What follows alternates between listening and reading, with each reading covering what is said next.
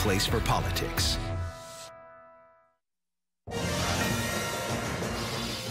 I want a totally inclusive country, and I want an inclusive party. We reject the bigotry of Hillary Clinton, who sees people of color only as votes, not as human beings worthy of a better future. Donald Trump debuted a striking new tone last night in Virginia, asking African Americans to, quote, honor him with their votes and vowing to make the GOP accessible to them once more. But what's behind this kinder, gentler Trump, and will it last? Let's bring in Robert Traynham, former Bush Cheney senior advisor and an MSNBC contributor, Jason Johnson, politics editor at The Root and SiriusXM contributor, and Raul Reyes, attorney and NBCNews.com contributor. Hello, fellas. Good to see you all. Hey Thanks there. for Hello joining there. me. See you, Alex. Okay, um, first of all, is anyone going to accept this new inclusive Trump? Jason, let's start with you.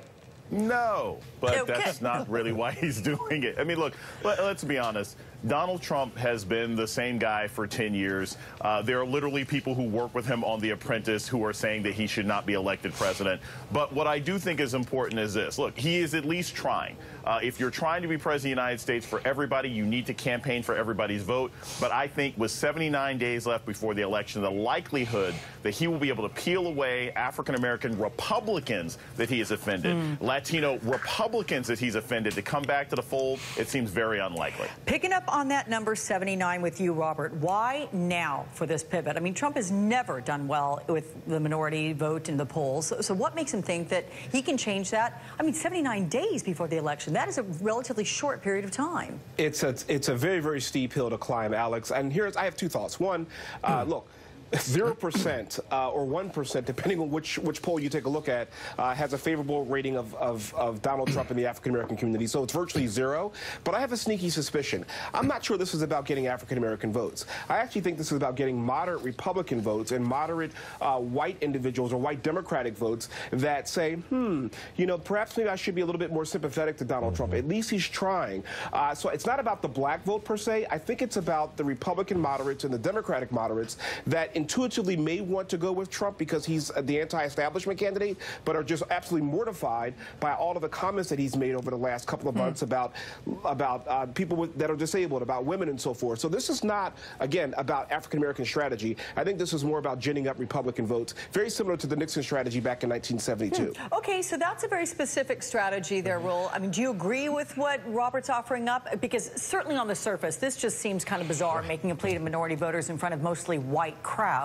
Well, I would agree, uh, certainly to a certain extent, because my take is that this newfound interest in African American voters and Latino voters is is to reassure uh, uh, some of his base that he is indeed still running a viable national campaign is to reassure certain members of the Republican establishment that his numbers are not going to tank so much that leading them to possibly abandon him. So it's just to show up, I think, observers that he still has a shot with these groups. And what's interesting, you mentioned that he debuted this new, new tone among for Latinos this week. At, last week as well, he debuted a new commercial, and in this commercial, you saw the same old very anti-immigrant rhetoric. You saw this imagery of people sneaking over the border, and there were claims about uh, undocumented people stealing votes and, and accessing health care, neither of which have, have been uh, backed up. And it, the, the numbers, when you just look at the numbers among Latinos, it's, it's almost, I would say, a strategic waste of his time to be doing this. Fox News Latino gives Hillary Clinton 66 points, Donald Trump, I believe, 20. The NBC News Wall Street Journal poll uh, has the margin even higher, with 76% of Latinos going for Clinton, only 14% going for Trump. And meanwhile, we have the, the, the former head of Breitbart now advising the campaign. Breitbart is a news outlet that defended Trump's criticism of Judge Curiel. They made fun of Jeb Bush's wife because she spoke English with an accent, and they have continuously vilified immigrants and calling them illegal aliens and, you know, all sorts of dangerous, you know, unpleasant rhetoric. So that's Yeah. the reality. Uh, Jason, reality-wise here, it is almost certain that Trump is not going to overtake Clinton among the black voters between now and November. So we had Robert offering up the appeal to more moderate GOPs. What do you think his goal is, and how many of the minority votes does he need to actually pull off a win?